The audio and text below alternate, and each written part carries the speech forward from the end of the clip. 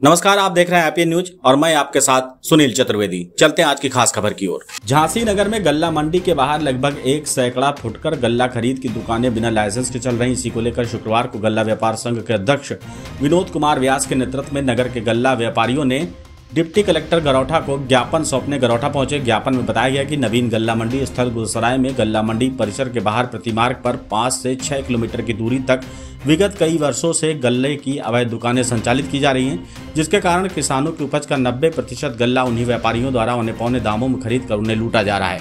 शेष 10 प्रतिशत उचित भाव से मंडी परिसर में आ रहा है, जिससे किसानों को आर्थिक क्षति पहुँच रही है।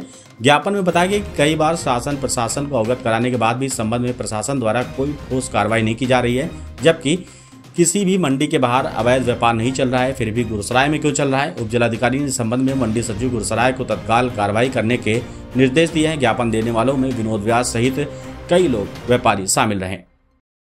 क्या नाम है आपका? सुरेंद्र व्यास किस समस्या को लेकर आज उप जिलाधिकारी यहाँ आए हैं? हम लोग गल्ला का व्यापार करते हैं मंडी समिति के अंदर। कई सालों से कर रहे हैं। अब कुछ विगत वर्षों से पाँच छः वर्षों से मंडी दिन प्रतिदिन घटती चली जा रही है। क्योंकि मंडी के बाहर इतना ज़्यादा गल्ला का व्यापार, सत्तर अस्सी व्यापारी हो चुके हैं कि मंडी के अंदर माल भी नहीं आता बिल्कुल मंडी शुल्क राजस्व की चोरी हो रही है और हम व्यापारियों के सामने बड़ा रोज़गार का संकट भी आ गया। मंडी का अस्तुति खत्म होने जा रहा है।